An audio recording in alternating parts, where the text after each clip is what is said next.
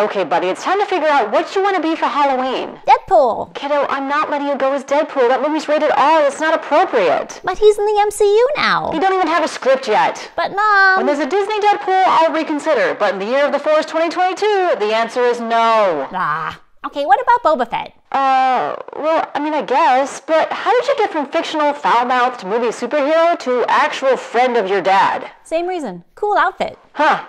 Can't argue with that. And you should go with Fennec. Not Ahsoka? No, her weird half smile is both boring and kind of creeps me out. Shh, buddy, you cannot talk bad about Ahsoka on my channel. Everyone loves her. They're going to cut you. Everyone who? Oh, are we fourth wall breaking? Looks like someone else is a Deadpool fan. Ugh, okay, Fennec it is. We're gonna look amazing. Ah, yeah, I do look really cool in this. Mom, is that you?